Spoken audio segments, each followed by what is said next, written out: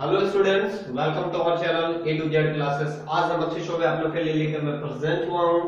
Tense के जो बाकी पार्ट हमारी बची हुई थी फ्यूचर टेंस हम लोग पढ़ रहे थे। और आज हम लोग फ्यूचर टेंस में, आज हम लोग पढ़ने वाले फ्यूचर परफेक्ट टेंस के बारे में, ठीक है? तो जैसा कि पता है कि हम लोगों ने प्रीवियस वीडियो में फ्यूचर के बारे में चर्चा कर चुके दो पार्ट पर। आज ये तीसरा पार्ट है फ्यूचर का। तो आज हम लोग इस तीसरा पार्ट में फ्यूचर परफेक्ट के बारे में चर्चा करने वाले हैं, ठीक है? कि फ्यूचर परफेक्ट हमारा क्या होता है, किसको बोलते हैं, और उसको उसमें अगर किसी प्रकार का क्वेश्चन आ जाते हैं तो हम लोग कैसे बनाएँगे, या फिर इसके रूल्स क्या होते हैं, इन सभी चीज़ों पर आज हम चर्चा करने वाले हैं। तो हमारे इस वीडियो में आप अंत तक बने रहे, आपको बस हमारे इस वीडियो में आपको अंत तक बने रहना है, और चलिए स्टार्ट करते हैं। तो जैसा कि पता है कि हम लोग यहाँ पे लिखे हुए हैं फ्यूचर परफेक्ट तो फ्यूचर परफेक्ट होता क्या? और फ्यूचर परफेक्ट बोलते किसको? पहले इस चीज़ को समझने का प्रयास करते हैं। ठीक है? तो समझेंगे, जो बच्चे ट्रांसलेशन बनाना चाहते हैं या फिर यहाँ से जो ट्रांसलेट बना रहे हैं बार बार बोलता हूँ यहाँ से दो फ़ायदे हो। होंगे एक तो आपकी बोर्ड एग्ज़ाम की भी तैयारी हो जाएगी और दूसरी, आपका ट्रांसलेशन जो बनाने वाले बच्चे होते हैं, जो घर में ट्रांसलेशन बनाते हैं या फिर जो स्पोकन सीख रहे हैं, यानी बोलने की, बोलना चाहते हैं इंग्लिश और उसको क्या करना पड़ता है? कोई भी हिंदी के सेंटेंस को इंग्लिश में ट्रांसलेट करना पड़ता है तो किस तरह के हिंदी का कौन सा सेंटेंस है और उसको कैसे ट्रांसलेट करें इंग्लिश में? और या फिर हम लोग बोलने के दौरान किस प्रकार के, क्या हम लोग का ग्रामेटिकल इरर हो जाता है, बहुत सारे देखते हैं। और आप लोग सुने भी होंगे ये चीज़ की अगर स्पोकन बोलना है तो ग्रामर को छोड़ो भैया। तो चलिए, वो सभी बात को हम लोग इग्नोर करते हैं, लेकिन हम लोग अभी यहाँ पे बोर्ड एग्ज़ाम की तैयारी कर रहे हैं। लेकिन साथ साथ में हम जब चल रहे हैं इस चीज़ को तो थोड़ा हम इस चीज़ को भी हुए निकल जा रहे हैं, क्योंकि हम चाहते हैं कि आप यहाँ से भी कुछ फ़ायदा लेके ही निकलो, ठीक है? आपको एक मतलब एक तीर से दो दो निशान करने वाला हम चाहते हैं कि एक तीर चला और दो काम आपका हो जाए। तो इससे आपको बेनिफिट होने वाला है। तो चलिए सबसे पहली बात है कि चुका होगा, अगर किसी हिंदी वाक्य के अंत में, अगर आपका रहता है चुका होगा, चुकी होगी, चुके होंगे, या होगा, ये होंगे, ठीक है, या फिर होंगे, ये सब अगर शब्द अगर आपके वाक्य के अंत में नज़र आता है ना, किसी को वाक्य के अंत में अगर आपको नज़र आता तो समझिए कि ये सेंटेंस कहीं और का नहीं, ये सेंटेंस आपका फ्यूचर परफेक्ट का है। कहाँ का ये सेंटेंस ये सेंटेंस आपका फ्यूचर परफेक्ट का है, ठीक है? तो जैसा कि पता है कि इंग्लिश डेफिनेशन हम लिखते हैं और इंग्लिश डेफिनेशन का समझाने का प्रयास करते हैं कि यहाँ पे क्या लिखे हुए it shows about such action यहाँ पर वैसे एक्शन को शो किया जाता है, ठीक है?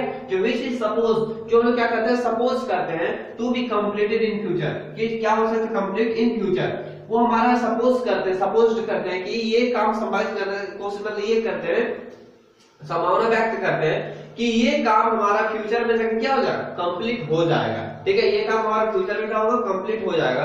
तो इसी चीज़ को हम लोग क्या कहते हैं? फ्यूचर परफेक्ट कहते हैं। फिर एक बार समझने का प्रयास करते हैं it show about such action which is supposed to be complete in future. वैसे एक्शन जो सपोज़ करते हैं कि हम लोग का ये काम फ्यूचर में कंप्लीट हो जाएगा, उसको हम लोग क्या कहेंगे?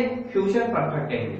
तो उसके बाद हमारा रूल है अफर्मेटिव रूल जो यहाँ पर लिखा हुआ है subject plus subject plus salary जो सब्जेक्ट के अकॉर्डिंग लगेगा कि जो सब्जेक्ट होगा, वो इसका जो पहला पार्ट का हम लोग बनाए थे सिंपल फ्यूचर बताए थे, उसमें बता चुके किसके साथ सेल लगेगा और किसके साथ विल लगेगा।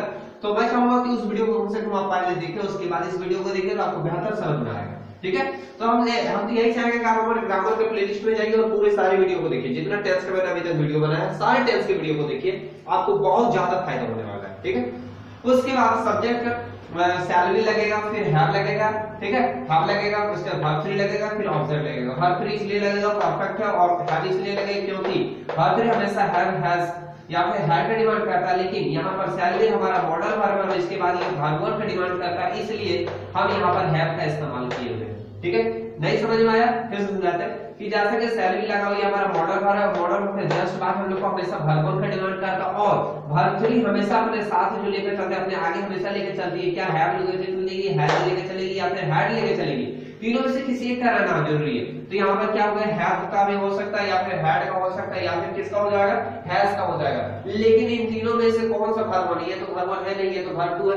वर्ब वन हमारा कौन सा हैव है? तो यहाँ पर इसको हम लोग देखना काम और इसका भी काम देखना तो कौन हम लोग मदद कर सकता था? यहाँ पर हैव लिख दिया हमने। उसका नेगेटिव रूल हम लोग देखेंगे। सबसे पहले सब्जेक्ट लगा हुआ है सैलरी लगा हुआ है नॉट लगा हुआ है। ठीक है? नेगेटिव रूल में नॉट का होना ज़रूरी होता है, क्योंकि तभी तो उसको नेगेटिव बोल सकते हैं। उसका ध्यान लगा हुआ वर्ब थ्री है, फिर ऑब्जेक्ट है।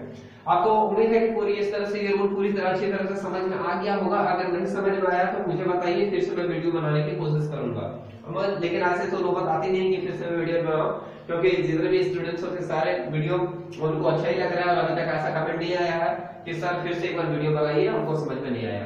उसके बाद, यहाँ पर मैं एक एग्ज़ाम्पल लिखा हूँ ये एग्ज़ाम्पल हिंदी, इंग्लिश दोनों में लिखा हो कि मैं लिख चुकूँगा। यानी देखिए, ये वाइट में, चुका चुकूँगा, ठीक है? तो ये चीज़ आपका वेदर है।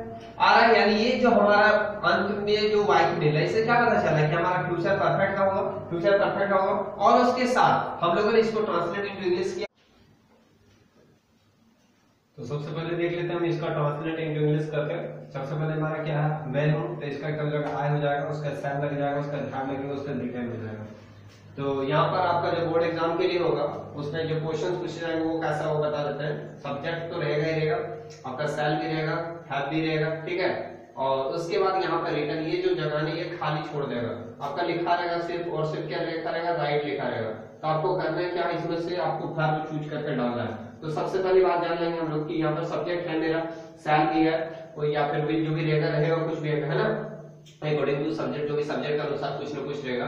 उसका रिहा रहेगा मेरा उसका क्या रिटर्न तो रिटर्न जो रहेगा ना, यहाँ पर रिटर्न नहीं रहेगा। आपका सिर्फ़ और सिर्फ़ केवल राइट लिखा रहेगा और बोलेगा, आपको fill in the with suitable भाव।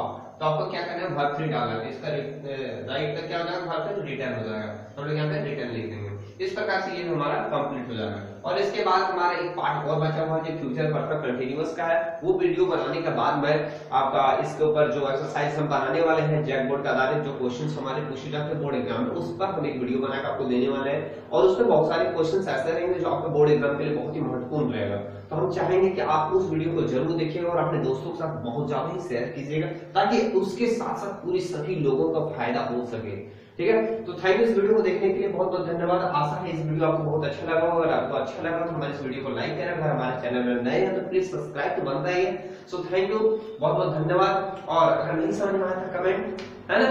कमेंट ज़रूर लिखना। तो बहुत बहुत धन्यवाद थैंक यू कैसा लगा वीडियो कमेंट करके मुझसे बताइए। और बस इतना ही। नेक्स्ट डे हम मिलते हैं। तब तक के लिए जय हिंद।